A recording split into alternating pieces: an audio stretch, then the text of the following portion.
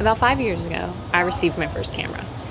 It was for me and only me to do with as I pleased and to capture moments that I was going to be able to have for the rest of my life and share with the people that I love. I was excited because I thought it would be fun to take pictures, take it on family trips, take pictures of my nieces and nephews, all the things. What I didn't realize was that this camera, this Nikon F3, was going to change my life.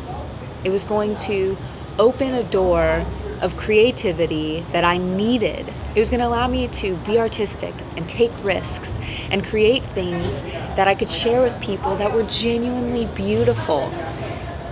It's opened so many doors for me, and I just want to share that with you.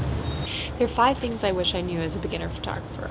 And the first one, probably the most important, is don't be precious about what you're shooting. Don't be worried about whether or not the shot you're getting is going to be iconic. I used to be terrible about this, specifically with my film camera. I would put a roll of film in, take two shots, and it would stay on the shelf for way longer than it should have because I was worried about getting an iconic shot rather than just going out and doing it. I wanted to make photos that were iconic, and in doing so, I missed out on a lot of opportunities, a lot of moments that I could have captured had I not done that. There are a few fundamentals of photography that you should know. This leads us to our next point aperture, shutter speed, and ISO. If you just started taking pictures, you may not know what any of these things are, and that's okay. I have in-depth videos that will be coming that will give you more details about each of those things. But until then, we're going to touch on these key points to help you establish what you need to know. Aperture essentially acts like the pupil of your eye. It controls the intensity or amount of light that reaches the inside of your camera. Your aperture is measured in something called f-stops. So f 1.4 f2, f4. Those are all measures of aperture. Let me show you. So you can see here, if you look in the center of the lens, the more the aperture is open, the more light is going to come through. The more it is closed, the less light is going to come into the camera. So when my aperture is stopped all the way down, it's at f22. When it is all the way open, it's at f1.2. The smaller the number, the larger the opening. The larger the number, the smaller the opening. Think of it like being in the dark. When you're in the dark, your pupil dilates to let more light in. And when you're outside and it's sunny, it constricts to let less light in to also help keep from damaging your eyes. But that's besides the point.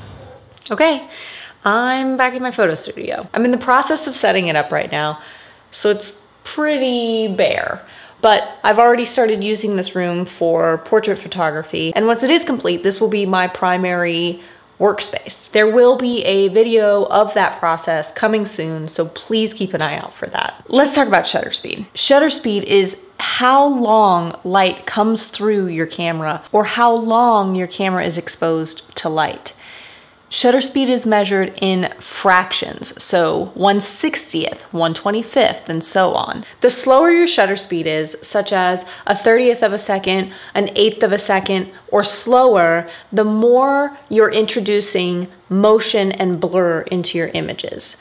The faster your shutter speed is, something like 1 60th, 1 25th, or higher, the less motion you're introducing to your images. And the reason that it's important for you to know this is so that you make sure you have the proper shutter speed for whatever it is you're trying to shoot. Whether it's someone running at one one thousandth of a second or it's really blurred water at one eighth of a second. Your images come out how you intended them to. The next fundamental of photography that you need to know is ISO.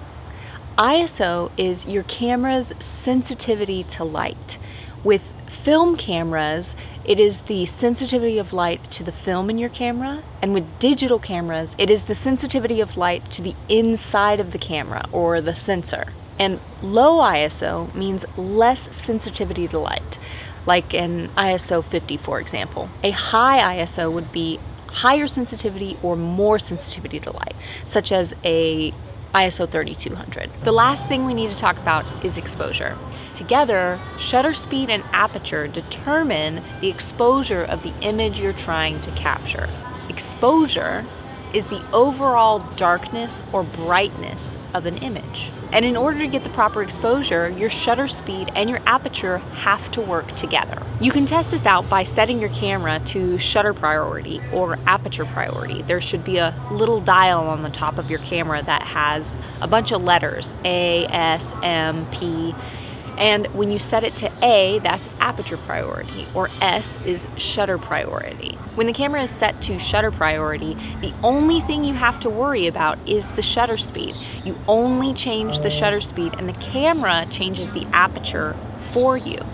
Vice versa with aperture priority. The only thing that you have to change is the aperture. It's going to automatically adjust the shutter speed. In doing this, you'll get more comfortable with aperture in aperture priority and you'll get more comfortable with shutter in shutter priority and then you'll be in a place where you can kind of tackle both at the same time. Setting your camera to shutter priority or aperture priority might be a good place for you to start if your images are not coming out the way that you want. Pick one and once you get comfortable with that you can try the other. When I first started all of this information felt like way more than my brain could handle but with practice it did get easier. The last thing that I will say is doing things that make you uncomfortable will help you grow and learn as a photographer.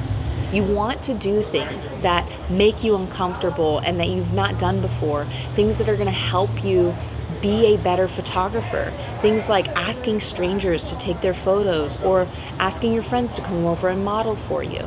It's going to make you a better photographer because it's going to push you to grow and learn in areas that you wouldn't necessarily try on your own. I hope this video helped. If you have ideas about what you'd like to see next, please leave a comment down below. And don't forget to subscribe so you can see all of the new videos coming your way. Until next time, I'm Tilly Shull, and thanks for watching.